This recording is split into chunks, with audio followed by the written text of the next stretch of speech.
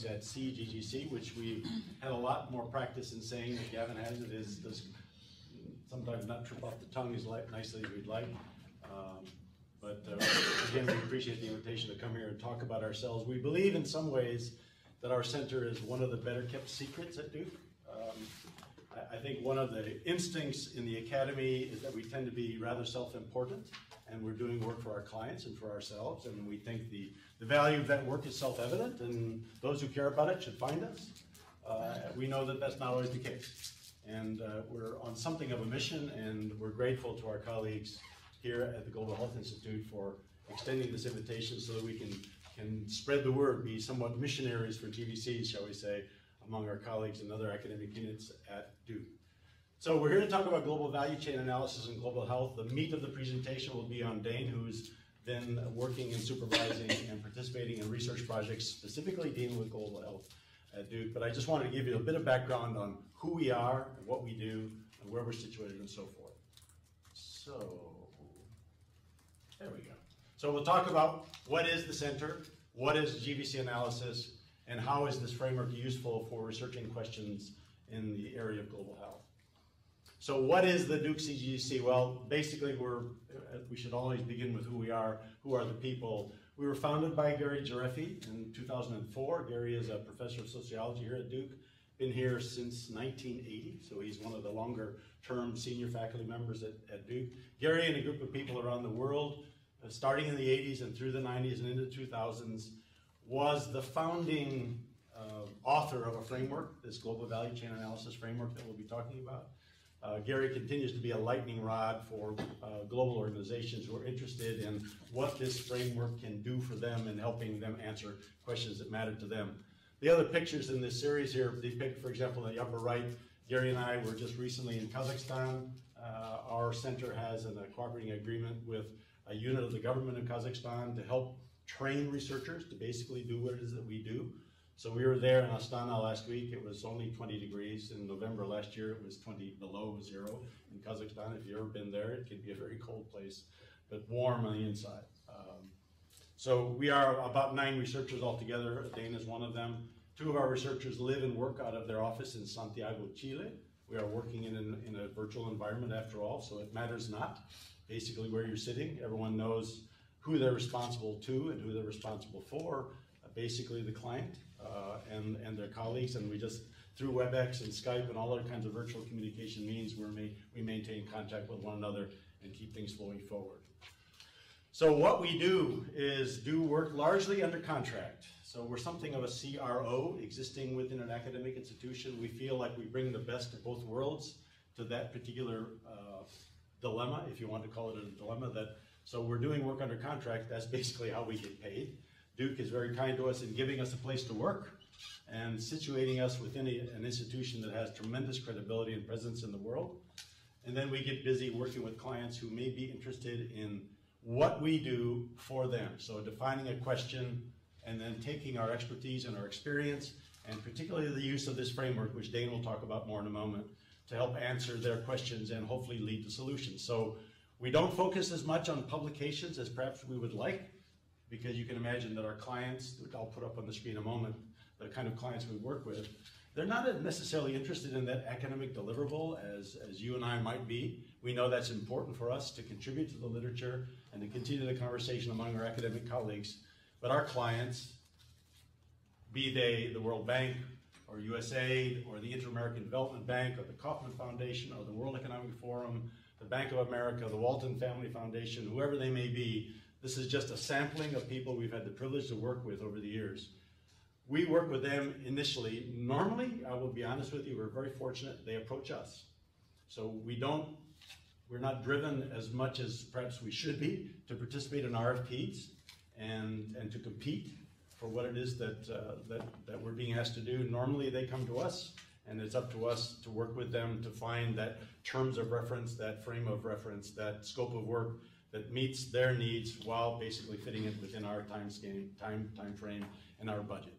So we've been lucky to, to work with all these clients. Many of them we continue to work with today. Uh, ongoing projects at the center include this project in Kazakhstan, which is a three-year project. We're in the third year of this three-year project to do capacity building and research and visibility and network creation for this unit of the government of Kazakhstan. We're working with USAID and RTI International on the second phase of a two-phase project in the Philippines, working on multiple industries. We're working with the Organization of American States, uh, OAS, based in Washington, uh, on a two-year project essentially to build capacity for doing research on economic development in the various Caribbean nations. And um, we're finishing a, a four-year project with the Minerva Initiative of the Department of Defense that Dane's been involved with, together with his colleague Ghada Ahmed, uh, working on food security. Um, and we're working, we just had a conversation this morning with Oxfam America.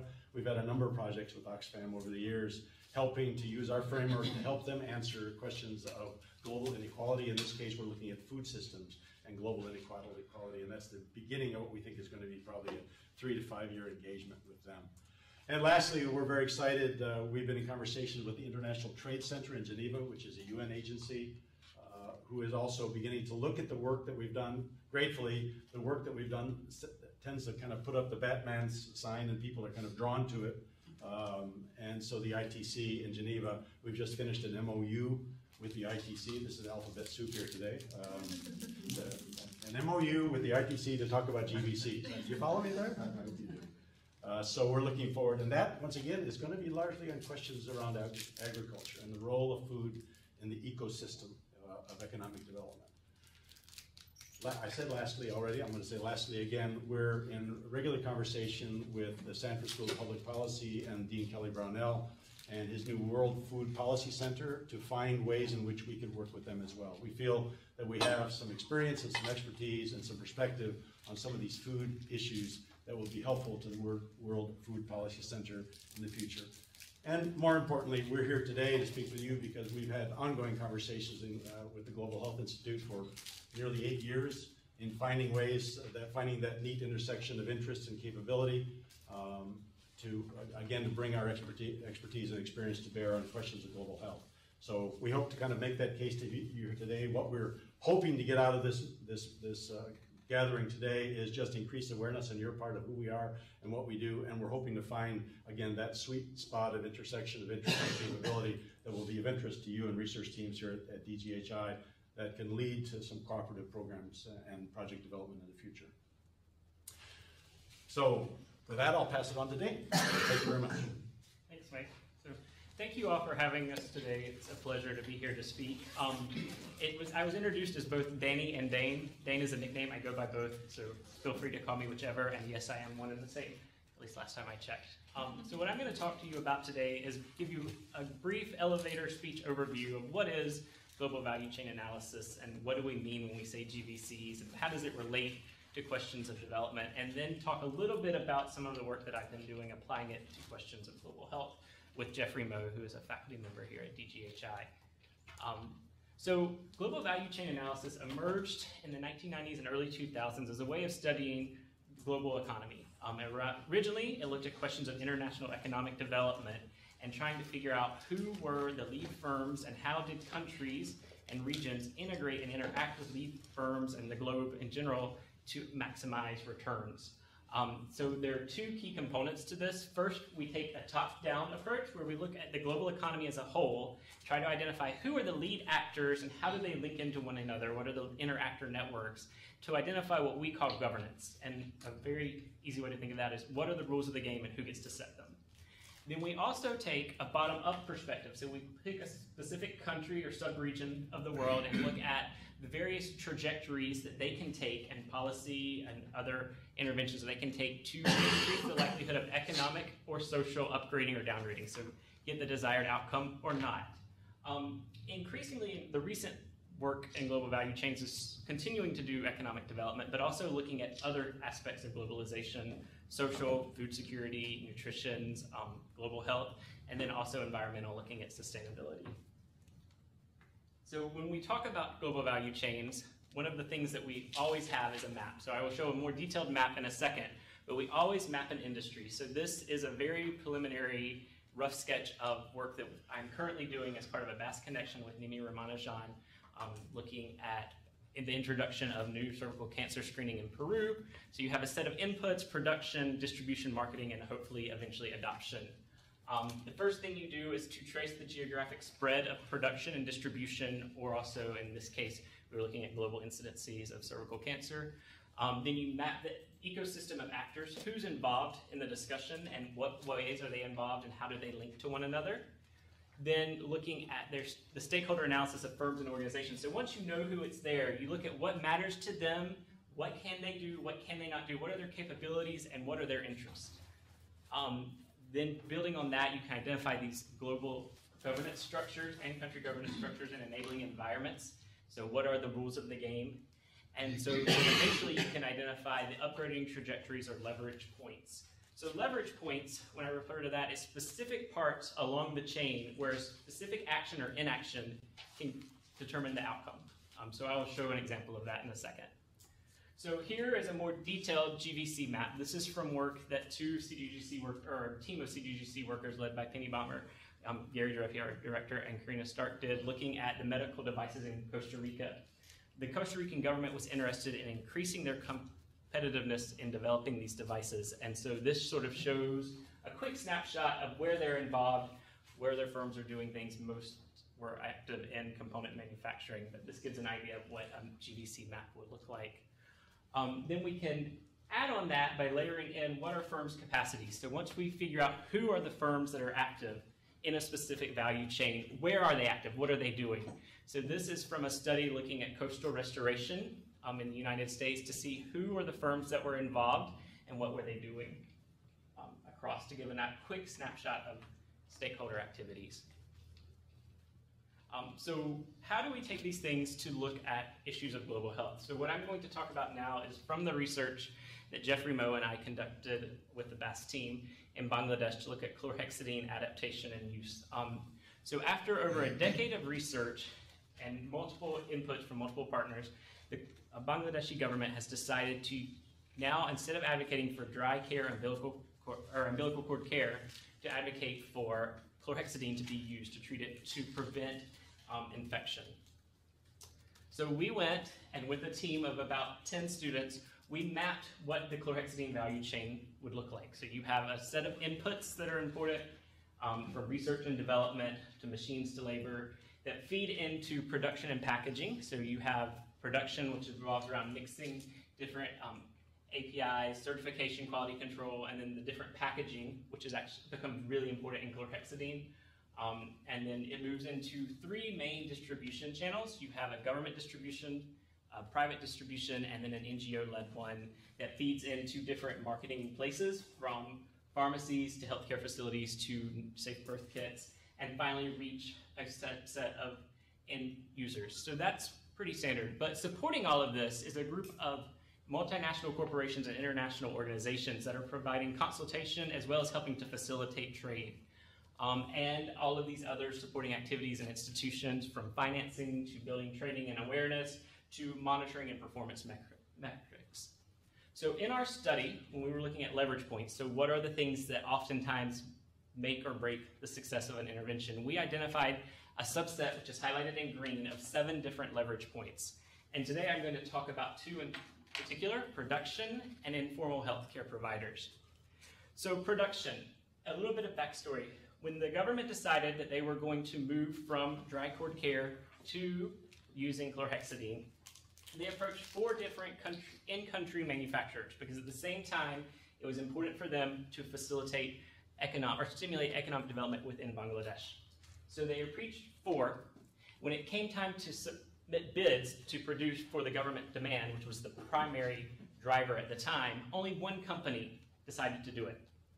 And that's important for a bunch of reasons. First of all, if that company decides to no longer produce chlorhexidine, if their production facilities go down for some reason, then all of a sudden it creates a critical shortage in supply. And at the, t- and at the beginning, the government's going to be the major distributor of chlorhexidine. The second thing is that then all of a sudden they have a monopoly of, of the market, and the cost, the risk for the cost associated to the public becomes difficult to manage. And then the third thing that we found, and this was interesting, if you go one step back in the value chain, the company that submitted the bid and won it only had one supplier for their bottling, which is important, and also in the case of chlorhexidine, the most expensive part. So if anything happened, they were linked completely to one supplier in India for the bottles um, and the caps.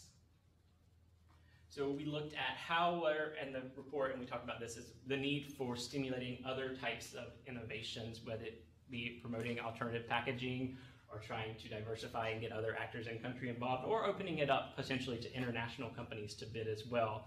Um, one of the reasons that we found that the firms were not willing to come in or were hesitant to bid was because of the money. It was very difficult to make a profit on chlorhexidine, especially in just one country. So it would be better to pull, the, pull demand from a regional, regional block of countries. The second leverage point I'm going to talk about is informal healthcare workers. What we uncovered when we were in the field is that there was a very interesting dynamic going on where the government or births in Bangladesh were largely overseen over 60% by informal healthcare workers who were not formally trained. The government had recently established a new mandate or a new um, drive to bring more people into clinics to formalize healthcare more. So there was an at odds between distributing chlorhexidine to informal healthcare workers or and their drive of trying to bring people in. So when this happened, automatically you were at risk of getting 68% of workers, or 68% of births um, were not going to be included with the chlorhexidine distribution unless you were able to get other channels outside of the government, including the NGO network or the um, private sector. When we went and talked to major NGOs in the country, BRAC for example, what we learned is that they were very much aware of the chlorhexidine push. They were very interested in getting chlorhexidine and adding it to the birth kits that they distribute to informal healthcare workers in various parts of Bangladesh. But they had a problem, and the problem went right back to the previous slide. They didn't like that there was only one supplier. They felt like that was not necessarily the, getting people the best price, and they were concerned that it would create a scenario where the price of chlorhexidine would create such a high cost that the entire bundle of goods that BRAC would distribute as the main NGO would be um, out of the reach for most of the people that they serve. So they chose to no longer to say that they supported it, but not to formally add chlorhexidine into their bundle until they could talk and try to see if they could create more competition in the market. So through this research, we saw how a bunch of different economic and business practices really impacted and created very critical leverage points for the value chain in chlorhexidine. Um, because we wanted to open it up for discussion, I went through this very quickly. If you're interested, this report is available for free download at the, at the CGGC website, cggc.duke.edu. Um, and if you have any questions that we can't answer today, feel free to email my co-author Jeffrey Moe or myself. Um, so thank you guys very much, and at this time I guess we can open it up for general discussion.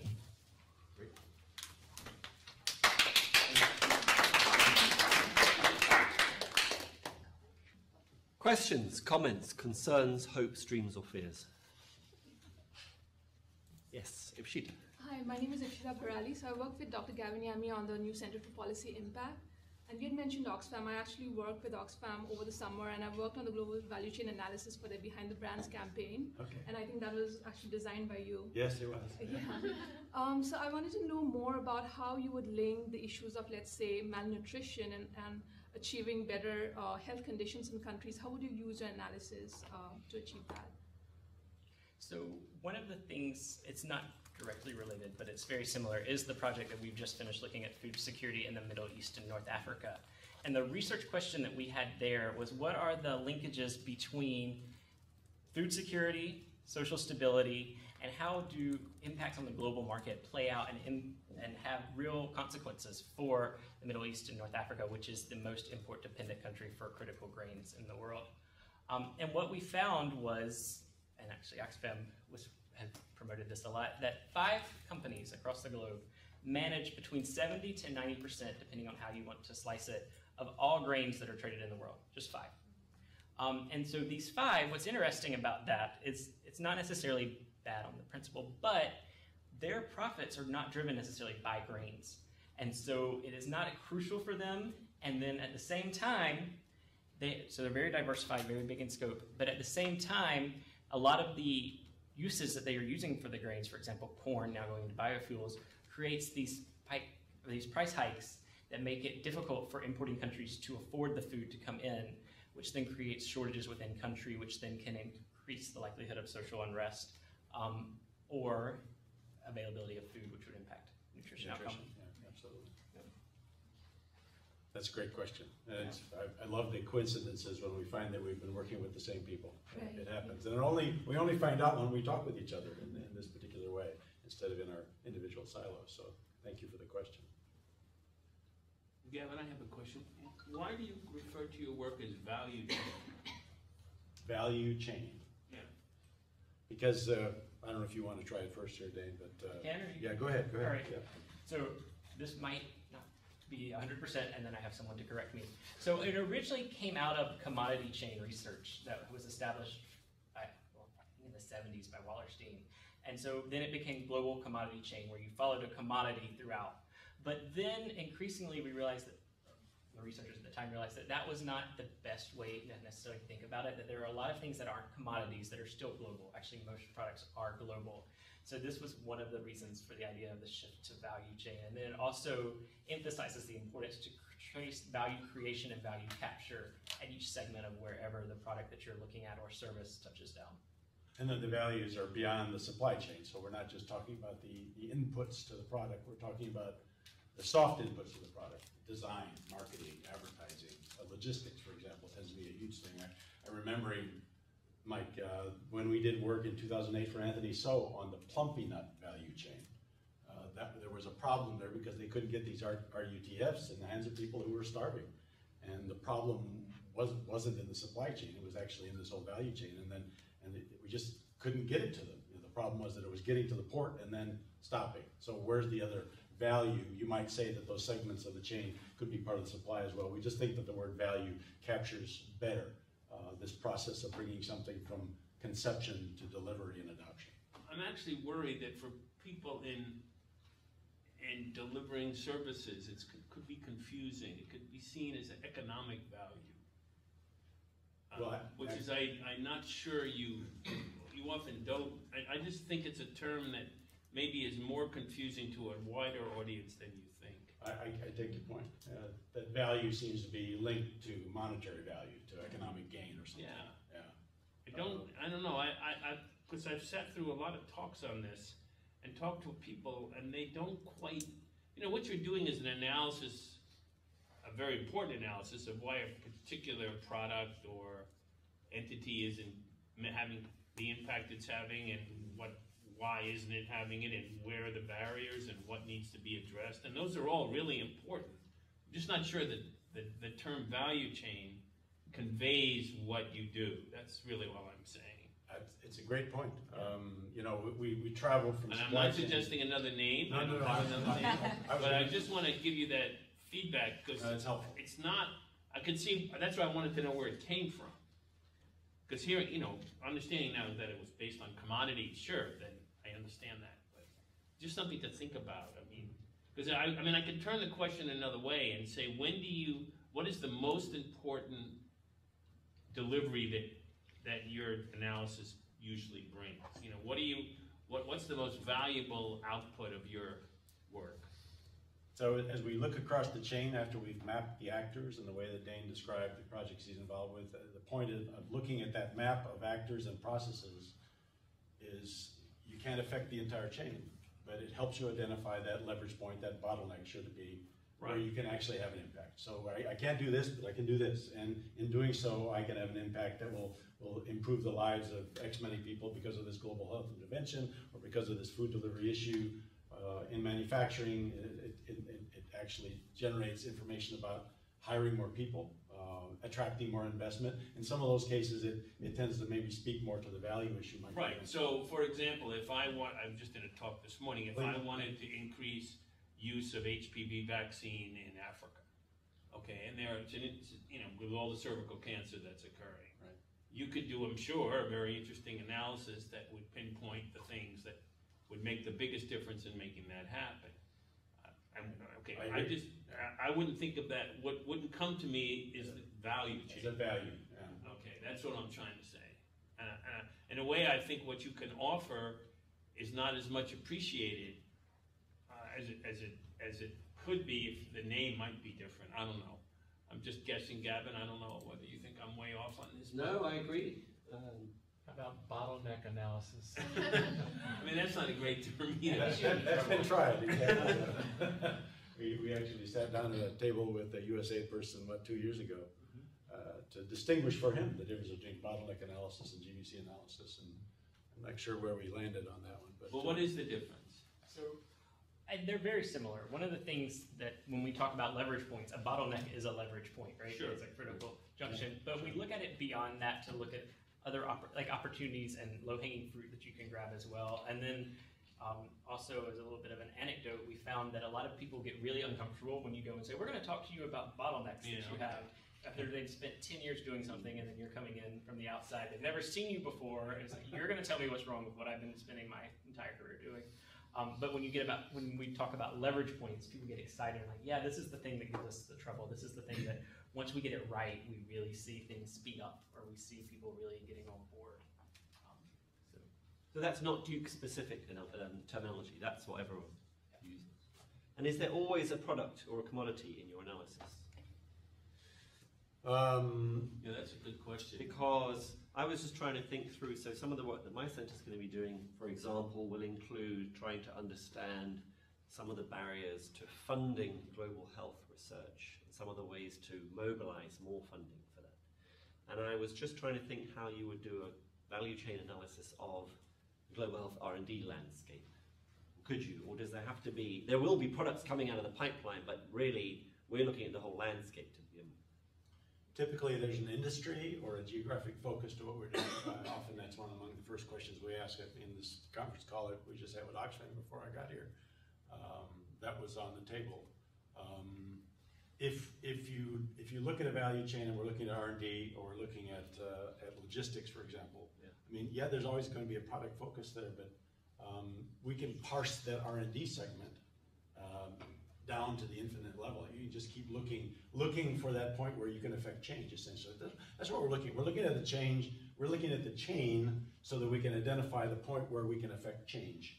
Uh, change that's beneficial to the, to the end user in this case. So, uh, is there, in, in that case, just there's processes inside the value chain that we can then look at, but very difficult to separate it from the actual product.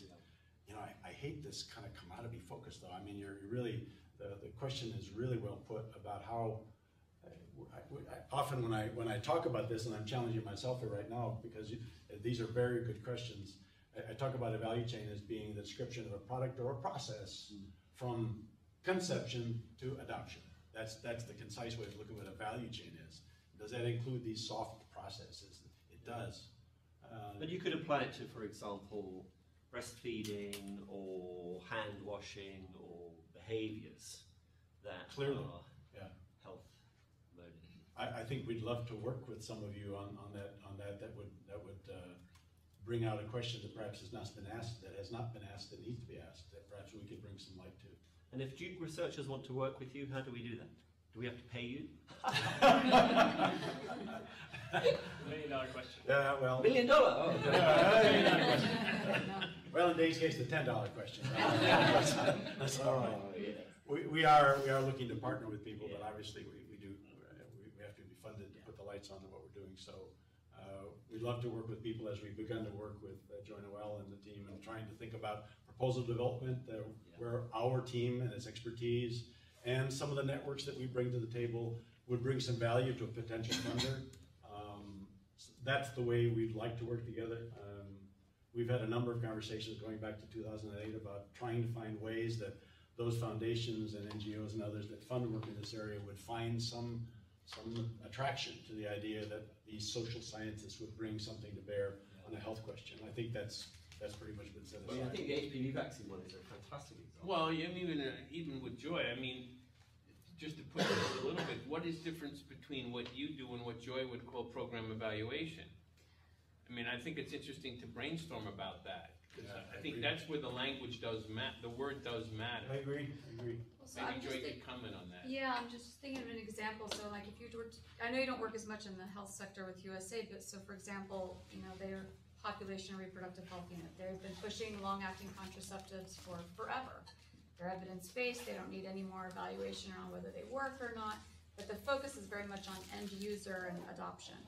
Maybe there are other leverage points about why it's not, you know, getting into the market the way it needs to in Africa or something like that. So, like if there were like a top ten list from USA Health Sector about these are the things that we know are already evidence-based and could make a real public health impact, we're focusing all our research on why this individual is not picking it up, but maybe there's actually a much broader perspective that needs to be taken on why things are not moving into, um, you know, adoption at the individual level. Maybe it's more than just supply chain. I know our Sure, USA does a lot of the supply chain stuff, but you know, if there's a bigger picture, to me, that's what I like about the global value chain is it is a broader perspective and thinking outside of just that end user and just the supply chain, because I think there might be a different lens that you guys are offering. Um, And I think speaking to the issue about, you know, this value issue, maybe indicating more of a commercial uh, uh, component to what we're doing. In fact, what other, what, what the sponsors that, that we've worked with in the past find unique about us is that we talk to firms. That's who has this. I'm not saying that other researchers don't, but it's a, a kind of a default position for us that you really can't get to the answers that you need to get to unless you talk to the firms. It's in the case of, uh, I mean, the firm that, that Dane was talking about with chlorhexidine that's creating this bottleneck in, in, in delivering a needed product to a needed population. Um, that's, that's the value we bring. We don't, you know, we'll go, I mean, I, when I was in Kazakhstan last week and, uh, the team was making his presentation, Dane has been involved with his work as well, but we're working with a team of researchers on the wheat value chain in Kazakhstan because it matters to Kazakhstan. And in the audience were a number of firms and industry associations, and they were ablaze uh, and really wanting to be involved in the conversation. So part of this is iterative. We keep talking about it, and we keep involving a, a broadening list of, of actors that are involved. That's going to bring out some some beneficial change that will ultimately improve the wheat value chain in Kazakhstan, improve economies in Kazakhstan, employ more workers, improve the quality of the product, uh, improve improve nutrition down the line. Um, but it only happens if you talk to firms, really. The problem is that global health people are, are mostly concerned with delivery, if you wanna talk about products, of products to the poorest. And, you know, the, the, and, and are not necessarily concerned about profit or, or value in an economic sense, much more in a health sense. And I think that's, you know, that, that's where I think the term may not, maybe getting in our way a little bit of what you wanna do. Cause I, I, what I hear you do is very sound, what I would call program management. Mm-hmm. And you, and, you know, when there's, you problem solve around principles of program management. Right. And, and, you know, that's something we should, we should be teach, we try to teach our students in courses, right? And so, of course, you, you have a framework that obviously you've used over years, and so it works well, and it's comprehensive, and you, you also have hunches, so you know where to start, and that kind of thing, and so it's very valuable, I'm just thinking the, that how, how we can find ways to work together in, in a context of a global health uh, environment rather than in a business environment. Not that companies don't matter in global health, they certainly do, uh, particularly when it comes to products and, and vaccines in particular and drugs, but I think it's an interesting discussion and, and certainly worth. I'm glad you're more involved now with us, and we should try to find some other opportunities. The chlorhexidine one is an interesting one. Um, and I, I knew Jeff was hanging out in Bangladesh. I didn't know why. now, now you know. You know, sometimes uh, as, as we've talked about this over the last number of years, and we show up at meetings, and I can remember, Mike, the first meetings that we had in the in the, the big meeting room there at the Erwin Mill uh, when we Right. first started talking about making proposals to Kellogg and Right. Robert Wood Johnson on the pediatric, pediatric obesity issue. And Gary and I show up, and, and everybody except you was in a white coat.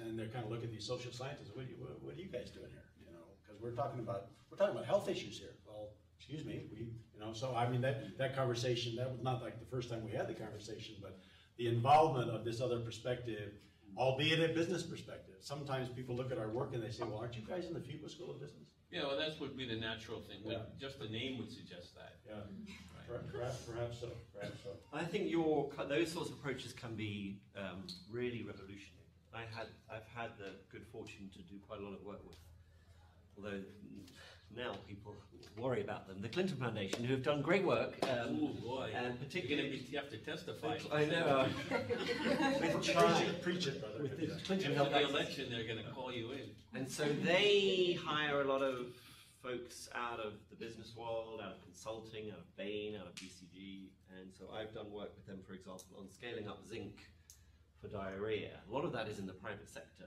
and the, so you know, I would come along to these meetings, and you've had you have people who are trying to strip down the the chain, understand the demand side barriers, understand the supply side barriers, understand the profit margins for suppliers, and it is a whole different way of. Certainly, if you come from a medical or public health background, you never get that. So I, it, it really was fascinating. Since Gary and his co- Gary Gereffi, uh, founder of the framework, really together with colleagues in, in England and elsewhere, since that began in the 90s and through the 2000s, we are now finding that the Bains, the Yeah. Boston Consultings, and the McKinseys and the Yeah. Deloittes, they all have a global value chain unit. They're all doing GVC analysis, maybe with more of a focus on that value segment, Mike, that you're, you're questioning. You know, and we always say yes, but this is who we are. So the differentiation we bring to the interaction is this, it's you. And the conversation that we're having with people in the academy that we think kind of season and leaven what we're doing that perhaps in the business world they don't do as well. Uh, I mean, we, whatever it is, we seem to be responding to a need out there because uh, we've been, we've, we've had some lean moments, as Yeah. all research centers have, but we're kind of in a sweet spot right now with uh, people finding us who are just really wanting to use this framework to help answer their questions. So uh, we hope to continue to do that. We as should go back and work on zinc, you know, the delivery is terrible. I know it is. Yeah, yeah. It would be ripe for that kind of analysis. Well, let's sit down and talk about writing up a proposal. Love to do On that note, On that note. thank you very much. Thank you.